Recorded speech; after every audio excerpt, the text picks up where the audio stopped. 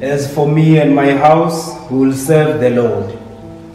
My dear brothers and sisters in our Lord Jesus Christ, we are on the 21st Sunday of Ordinary Time. In today's second reading, we reflect upon how St. Paul instructed the church of Ephesus on the depths of family relationship and the need of love and respect in the family structure. He reminds the wives to be subject to their husbands in the same way that the church is subject to Christ her head. On the other hand, husbands are to love their wives in the same way as Christ loved the church, his body. Hence, he even gave up himself just for his church.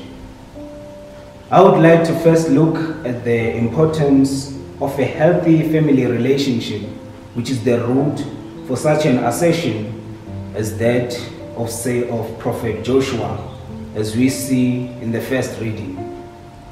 Perhaps, perhaps it would have been easier for me to just say, I will serve the Lord personally, than to include my whole family.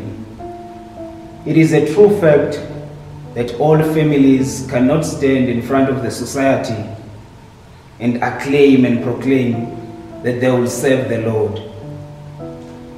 These days, we even find many gods served by just one family. This shows the difficulty of having a unanimous conviction when it comes to spirituality and religion in our families.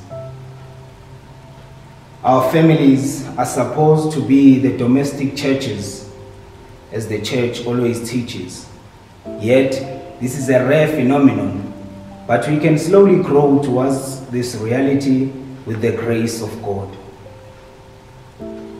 As the Lord Himself says in today's Gospel, which is the Gospel of John, chapter 6, verse 65, He says, This is why I told you that no one can come to me unless it is granted him by the Father.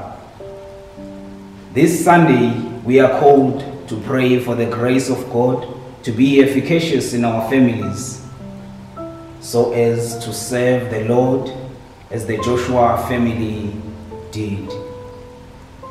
And also to be faithful to the Lord our God. And like Peter, we can also affirm that there is no other place we would rather be than with the Lord, for he always nourishes us with the words of eternal life.